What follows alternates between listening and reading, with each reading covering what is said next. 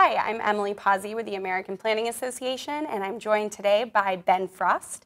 Ben is a member of APA's Legislative and Policy Committee, and he's also the Director of Legal and Public Affairs for New Hampshire Housing. Ben, it's great to have you here today. Thank you.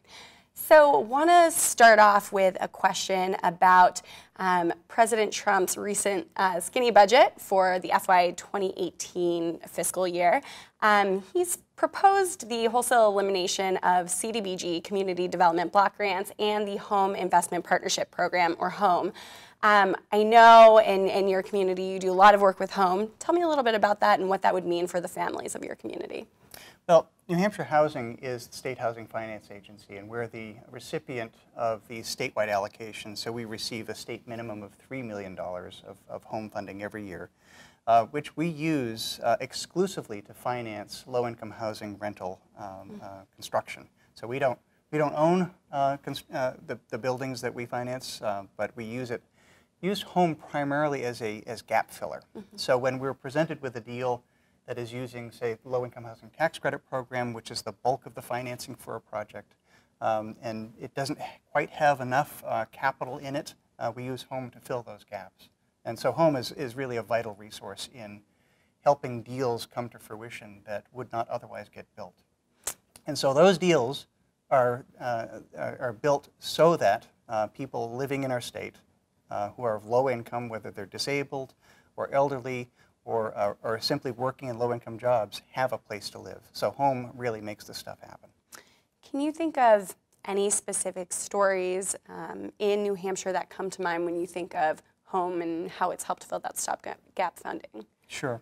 Well, in, in New Hampshire, we have a lot of um, existing old structures, mm -hmm. uh, old mill buildings. You know, recognize that New Hampshire was the textile capital of the world in the 19th century. A lot of those buildings have been waiting for, for future uses. So we have specialized in working with developers to rehabilitate those structures and turn them into uh, rental housing. Mm -hmm. And home has been a really critical resource for that. So, for example, in uh, our North Country uh, city of Berlin, uh, there was an old high school. The, it was the Notre Dame High School. It was um, uh, one of these derelict buildings that had plywood on the sides of the buildings, and it was a big structure in the center of town. Uh, so home, along with other resources, was used to rehabilitate that and create elderly housing, uh, which was a really a much needed resource in Berlin, which is a, a fairly uh, low income community.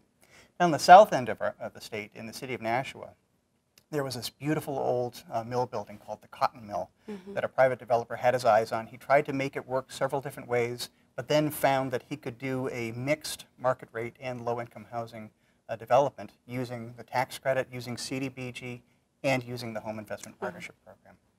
And without that, those things wouldn't have happened. They would not have happened.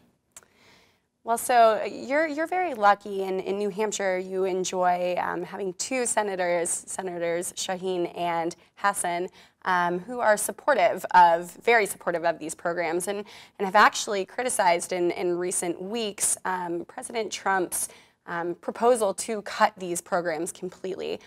I guess, what sort of advice do you have um, for planners who are from congressional districts or states who don't enjoy that kind of um, support of these vital community development block, block programs?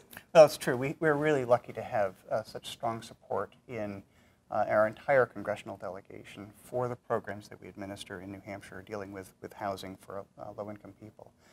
Um, and uh, Senators uh, Shaheen and Hassan have been really powerful advocates for us, both in their roles as state legislators, because they were both governors before they became senators, and now in the U.S. Senate. Um, what we have found, though, is that it's really important to get the members of Congress out when, when they're back in state, when they're back in the district, uh, to get them out to sites to both see what uh, the federal money is being used to do, but also to meet with their constituents who are the direct beneficiaries of this funding. Mm -hmm. So this is what the taxpayer dollars are going to do to help these people who really need a decent place to live. Beyond that, I think it's really important to develop a good and positive relationship with the congressional staff. So uh, each member of Congress has staff that's both in, in D.C. and in state. And you really need to uh, work with them, develop a personal relationship with them, and so that when, when you have a, an ask of your member of Congress, you're talking with the staff member who will then communicate that, that ask in a positive tone to the member. Sounds like fantastic advice for our many planning advocates out there. Ben, thank you so much for today. It's been my pleasure. Thank you.